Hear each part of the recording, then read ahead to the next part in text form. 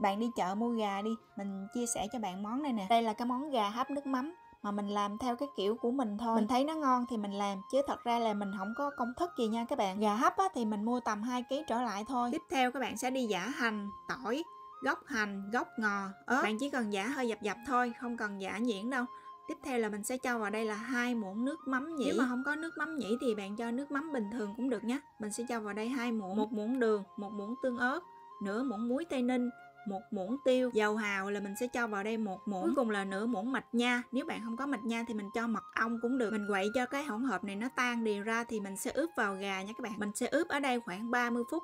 Trong thời gian ướp gà thì mình sẽ đi chuẩn bị một ít ra mình sắc cái củ hành trắng này ra để một lát mình cho vào gà. Kèm với lại dưa leo và rau răm. Sau khi mình ướp gà được 30 phút á là mình thấy gà nó thấm đều rồi là mình sẽ cho vào đây là củ hành trắng và cái bộ đồ lòng của con gà vào đây luôn nhé bỏ cái củ hành trắng vào đây cho nó ra nước và nó ngọt. Nó không bị khét cái nồi nha các bạn. Mình sẽ ăn kèm với lại xôi nữa nè nhưng mà xôi này người ta cho chứ không phải mình nấu nha. Trong thời gian hấp gà bạn à, múc cái nước á mình rưới lên để cho con gà nó chín đều nha các bạn. Con gà này diễm hấp 40 phút nó chín rồi nè các bạn.